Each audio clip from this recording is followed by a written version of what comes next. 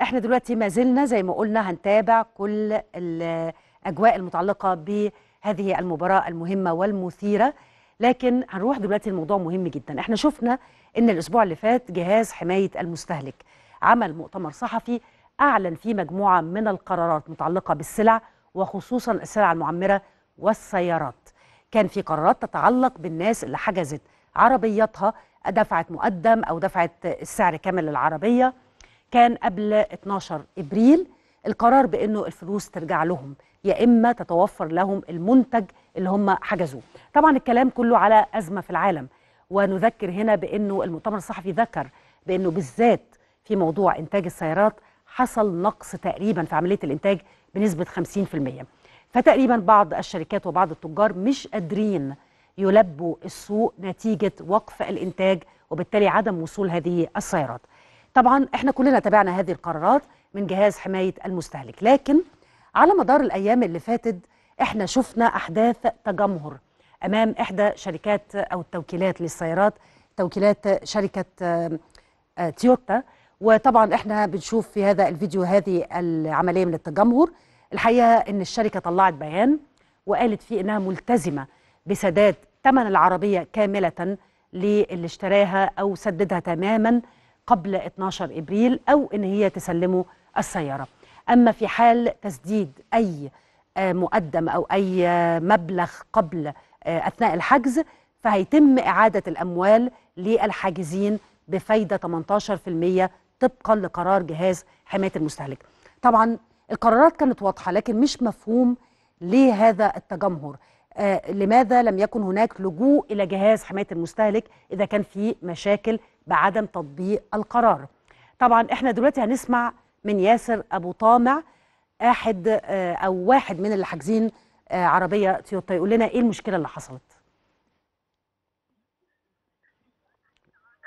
أستاذ ياسر مساء الخير.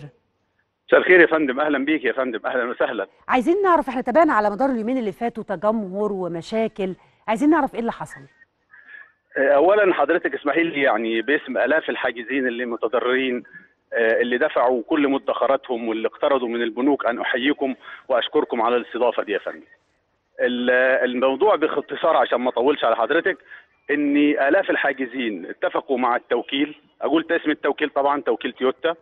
الكلام ده بدأوا من 2000 من من شهر 11 21 إلى شهر مارس.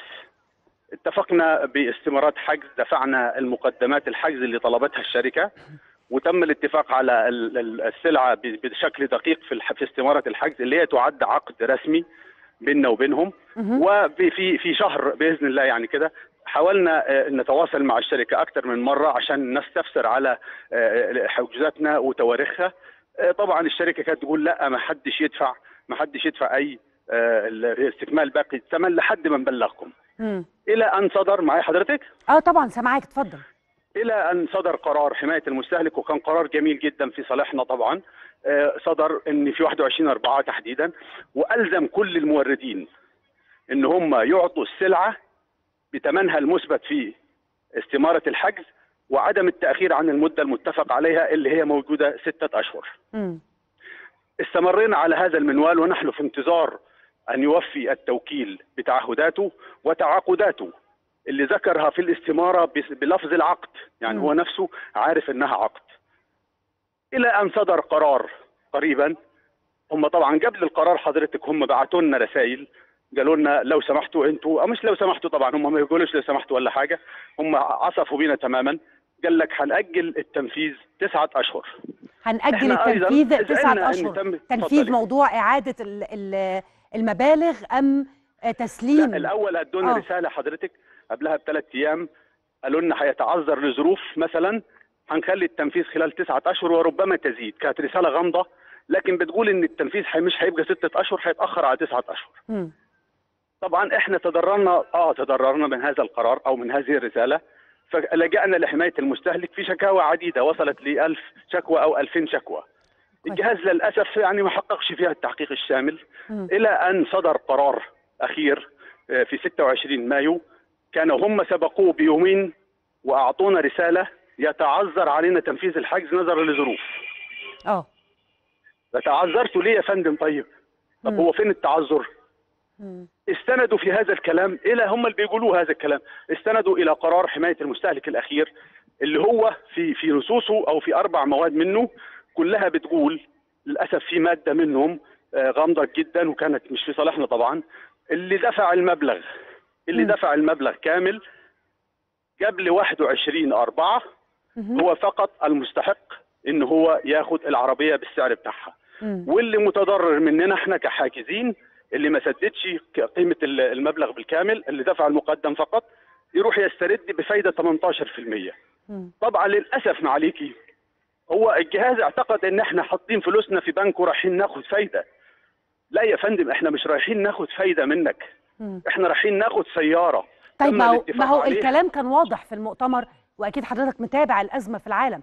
موضوع طبعاً. السيارات والإنتاج قل. انخفض يمكن بنسبة وصلت ل فندم، 50% هقول لحضرتك حاجة. يعني هل الشركة هل باسم الشركة لديها السيارات كده على الهواء أه. لو الجهاز قعد معانا مع الشركة والتوكيل وقالوا لنا إن الظروف هتتعذر علينا إن إحنا ننفذ في خلال ست شهور إحنا مستعدين نقبل التنفيذ التأجيل التنفيذ لأن إحنا أول من يحرص على ظروف هذه البلد. إحنا مصريين في الأول والآخر. آه. لكن لا الجهاز قعد معانا ولا التوكيل احترم تعاقداته وتعذر وراح ألغى الحجوزات. حضرتك بتشوف النهارده المئات اللي من طيب الحاجزين يعني أنتوا عايزين تفضلوا حاجزين؟ الفروع. ثانية واحدة بس. وبيتم التعامل معهم بمنتهى السوء. بمنتهى السوء والغلظة الناس دي بتحلم باقتراء سيارة من توكيل محترم جدا له سمعة عالمية إيه اللي بيحصل لنا في هذا الأمر. إحنا كنا المفروض طيب البيان الشركة بيان شركة تويوتا أو التوكيل كان واضح إنه الشركة ستلتزم برد قيمة أي حجوزات مقدمة بخلاف الحالات اللي طبعا اللي هو دافع السيارة بالكامل بنسبة يعني فيها عليها فايدة 18% تمام يا هيتم احتسابها. من تاريخ سداد أول. دفعة حتى تاريخ 30 مايو. أيوه, أيوة أنا إحنا إحنا متفقين على هذا الكلام بس هو. هو النهارده لما عمل هذا الأمر هو ليه ما أخطرنيش قال لي سدد المبالغ المتبقية عليك؟ مم. على فكرة حضرتك في استمارة الحجز موجود إنه في خلال عشرة أيام هقول لك تعالى سدد المبلغ فلازم تلتزم والا هلغي الحجز. أتحدى لو إن التوكيل أخطر أي حد من السادة الحاجزين بإنه يجي يسدد كامل الثمن ده لم يحدث يا فندم. يبقى كان المفروض حضرتك تقول لي كتوكيل تعالى سدد كامل الثمن المتفق عليه وإلا هلغي حجزك. إنما فجأة فجأة بدون سابق إنذار وبدون تنبيه وبدون أي شيء تقول لي أنا لغيت الحجز فهذا مخالف للقانون تماما. المادة 147 يا فندم من القانون المدني آه. بتقول العقد شريعة المتعاقدين. طيب طيب ولا يجوز أستاذ أنا آسف هقول دي بس. آه. ولا يجوز نقده أو تعديله. ولا بد من تنفيذه بحسن النية. يعني طيب. القانون هنا أستاذ افترض حسن النيه أنا ب... أنا بأكد لحضرتك إذا سمحت أن حسن النية غير متوافر على الإطلاق. لا في جهاز حماية المستهلك اللي كنا بنحلم بيه اللي هو أصلا اسمه جهاز حماية المستهلك. هنسمع طبعا الرد ولكن أستاذ ياسر. الش- الشركة الآن بالبيان الرسمي اللي طلع منها ردا على كل اللي حجزوا سواء اللي دفعوا ثمن الطيارة السيارة كاملة نعم. أو اللي حجزوا فقط. حتى قايلين إنه هيكون في أولوية لمن استردوا أموالهم واللي كانوا حاجزين قبل كده في إن هم يرجعوا أيوة. يحجزوا تاني. يعني هتكون الاولويه حضرتك أنا آسف. طيب الشركة بتقول إن أنتوا حتى لو أخدتوا فلوسكم هتكون ليكوا الأولوية كناس حجزت قبل كده. ده كمان ما. يرضيكوش طب أنا ح... أنا هطلب حضرتك إن حد يتدخل من التوكيل آه. ويقول إن إحنا لنا أولوية في إن إحنا ناخد آه إن إحنا ناخد سياراتنا.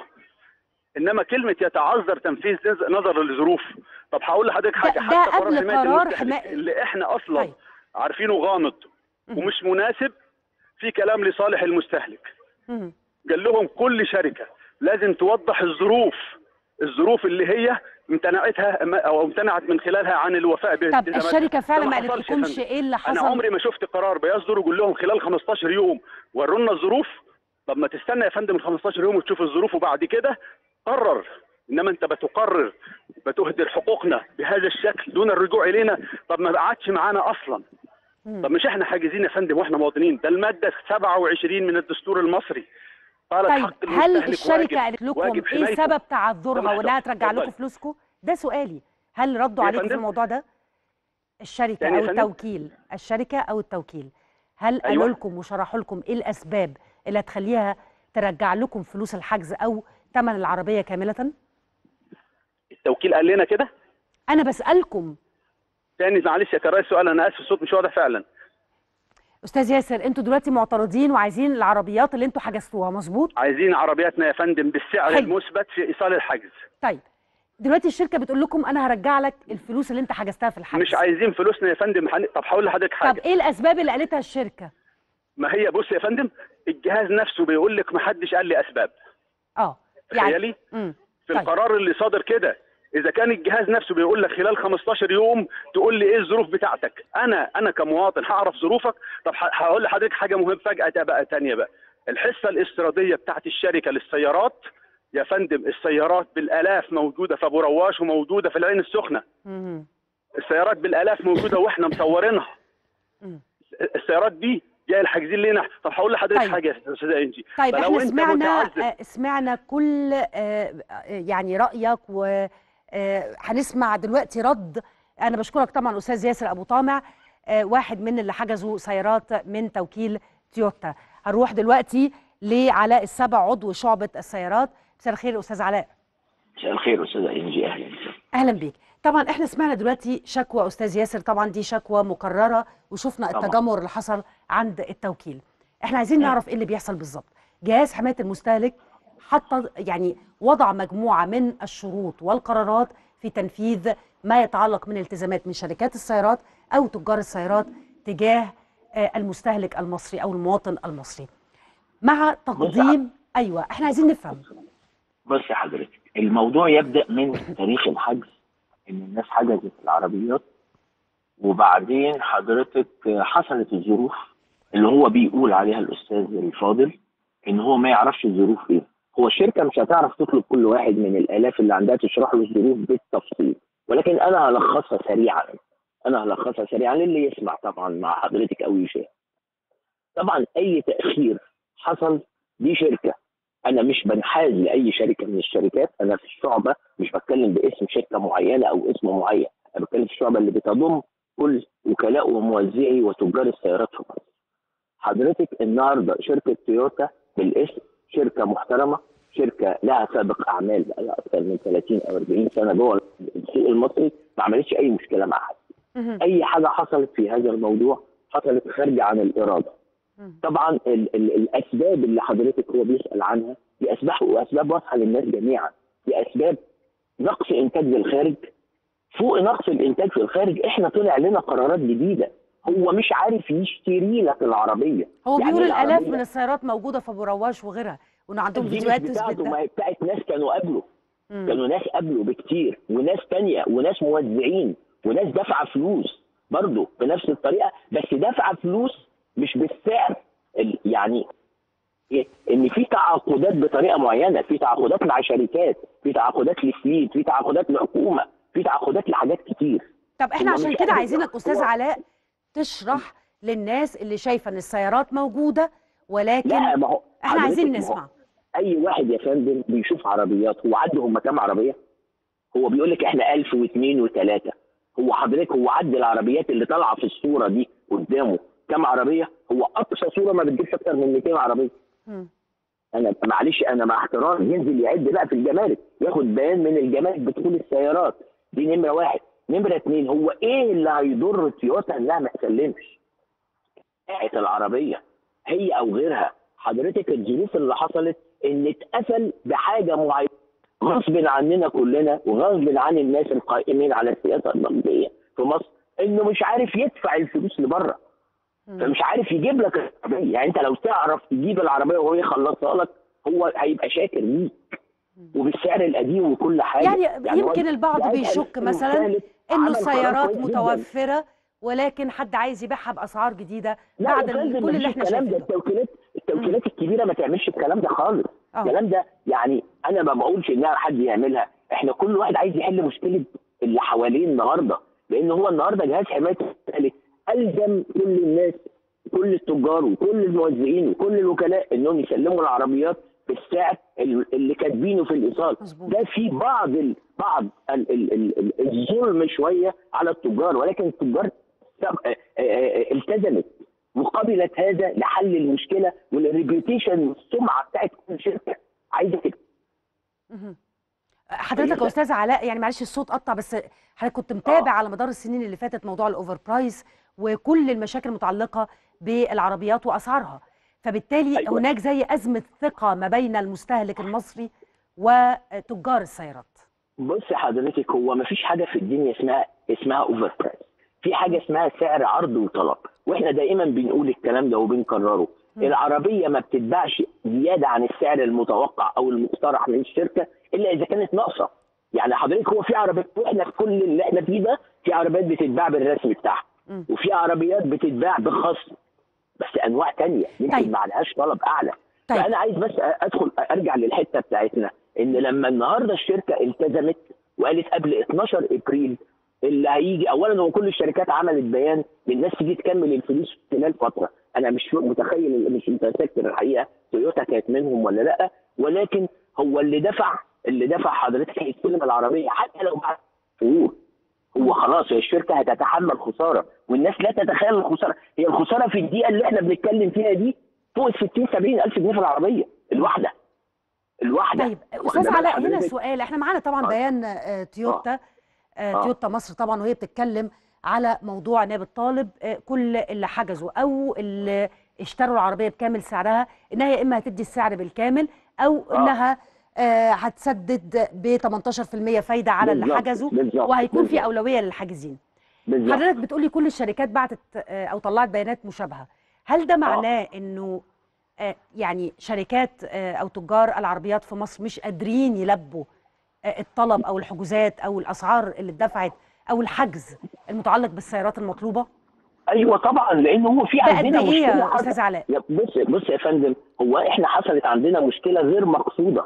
واخد بال حضرتك مش من تجار العربيات ولا الوكلاء. هي المشكلة حصلت في إن الاستيراد قنن أو اتعمل له تقنين بطريقة معينة لتقليل الاستيراد ودي حاجة ما نخبيهاش على حد.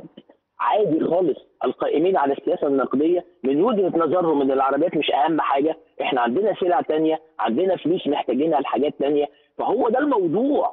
يا جماعة هو ده الموضوع الأصلي إن أنا مش عارف أجيب العربية. أنا مش هعيش عنك هي اولا قليلة بره قليلة بره دي علاقتي مع مع المورد بتاعي. أنا بتكلم كتويوتا مثلا أو أي وكيل. دي علاقتي مع المورد بتاعي أو المصنع بتاعي. وإحنا بنعمل حساباتنا وبنعمل البلان بتاعنا وبنعمل الحجوزات بتاعتنا بناء على كده. طب آه. أنا دلوقتي العربيات موجودة ومش عارف أجيبها.